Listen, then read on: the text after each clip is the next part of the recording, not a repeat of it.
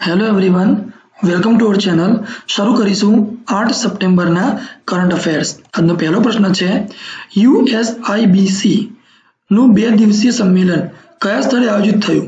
આયોજિત થયું છે મુંબઈમાં. હવે યુએસ આઈબીસી શું છે? યુએસનો અર્થ છે અમેરિકા યુએસએ અને આઈ ફોર ઇન્ડિયા અને BC for business council. US India business કાઉન્સિલનું બે દિવસીય સંમેલન શરૂ થયું છે મુંબઈમાં. હવે આ જે યુએસ, આઈબીસી છે, તે અમેરિકાનો સમૂહ છે. અને આ સંગઠન છે, એ બે દેશ વચ્ચે, એટલે કે ભારત અને અમેરિકા વચ્ચે વેપાર વધારવાની કામગીરી કરે છે. તે સંગઠન એવા પગલાં લે છે કે જેથી ભારત અને અમેરિકા વચ્ચેના વેપારમાં વધારો થાય. અને આ સમૂહની માંગણી છે કે ભારત અને અમેરિકા વચ્ચેનો વેપાર વધીને પાંચસો બિલિયન ડોલર સુધી પહોંચવો જોઈએ. અને આ સંમેલનનું ઉદઘાટન થયું મુંબઈમાં. તો મહારાષ્ટ્રના મુખ્યમંત્રી છે દેવેન્દ્ર ફડણવીસ.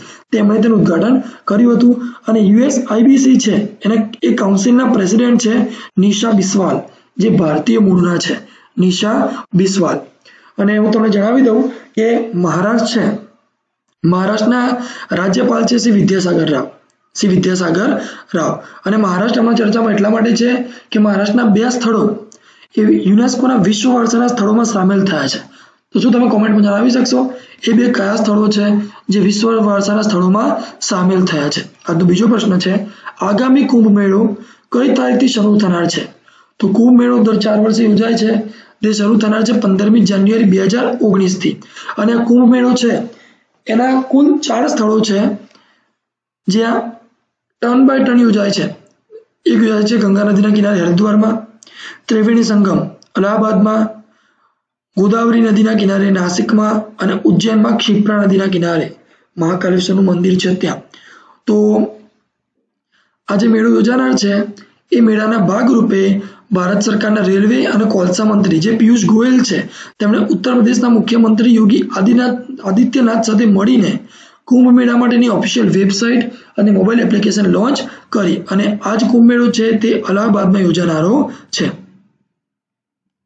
આજનો ત્રીજો પ્રશ્ન છે, સ્વદેશ દર્શન યોજના અંતર્ગત કયા રાજ્યને એસી પોઈન્ટ સાડત્રીસ કરોડ રૂપિયાની વિકાસ યોજનાઓ માટે સ્વીકૃતિ આપી દેવામાં આવી છે?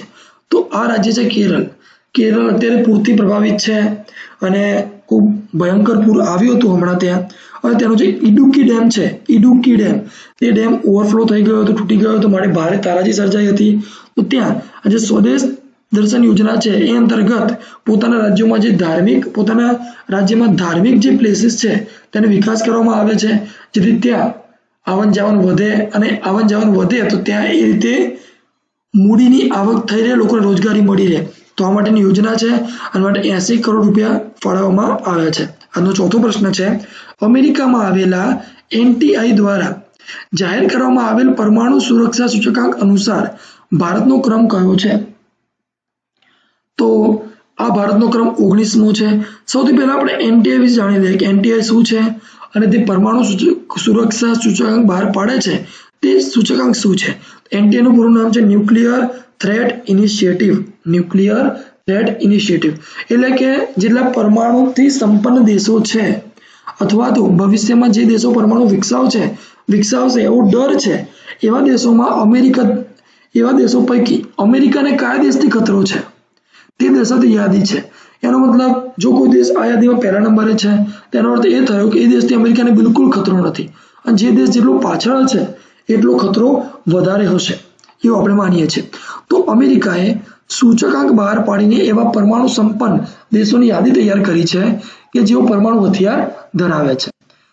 અને અમેરિકા દુનિયાના તમામ દેશો પર નજર રાખે છે કે કોઈ દેશ પરમાણુ હથિયાર ન વિકસાવી લે. અમેરિકા નથી ઈચ્છતું કે કોઈ નવો દેશ પરમાણુ હથિયાર વિકસાવે અને એ પણ નથી ઈચ્છતું કે કોઈ દેશ પરમાણુ પરીક્ષણ કરે.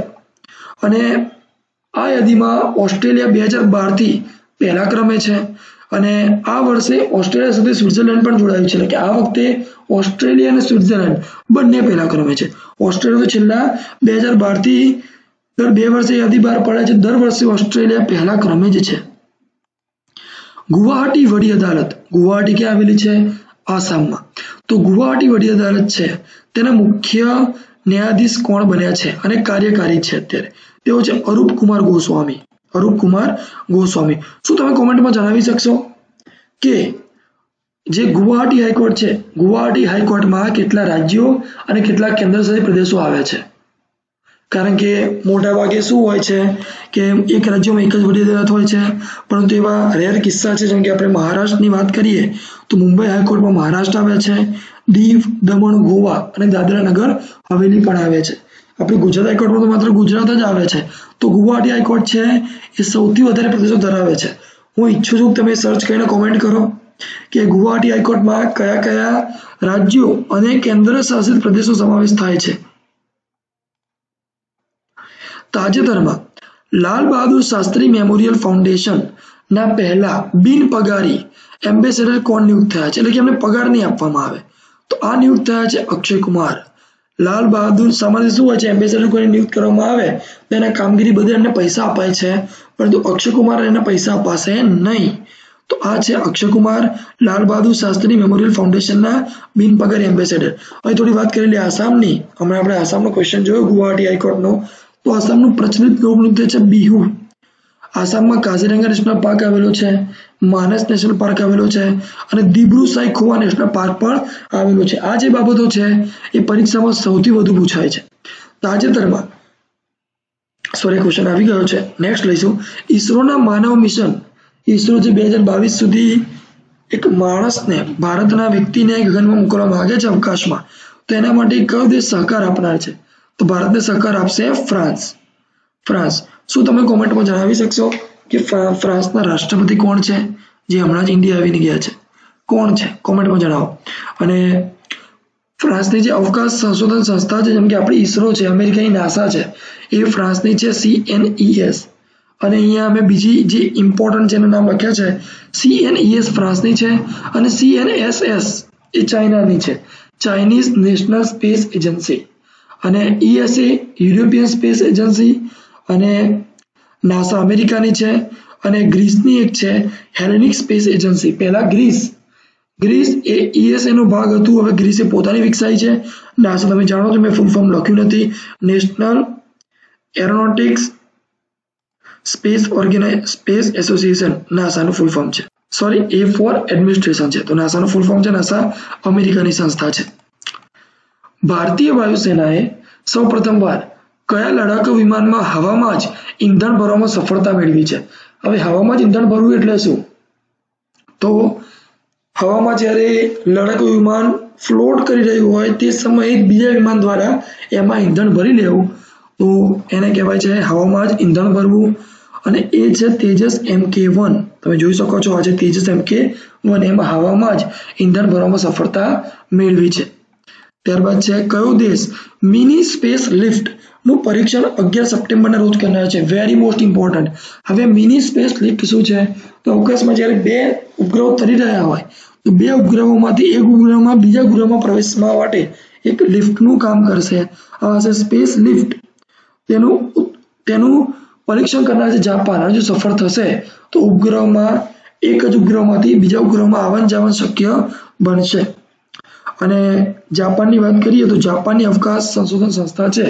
એનું નામ છે Japanese aerospace exploration agency Japanese aerospace exploration agency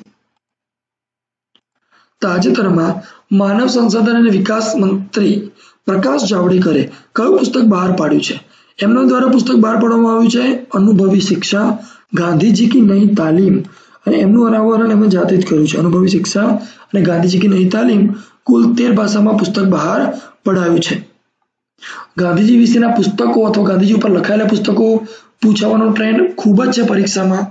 અને આ પ્રકારના પુસ્તકો પરીક્ષામાં બહુ પૂછાય છે, તો માઇન્ડમાં રાખજો કારણ કે તલાટી સોરી પોલીસ કોન્સ્ટેબલની એક્ઝામ આવી રહી છે અને નેક્સ્ટ ફ્યુચરમાં ઘણી બધી એક્ઝામ્સ આવી રહી છે.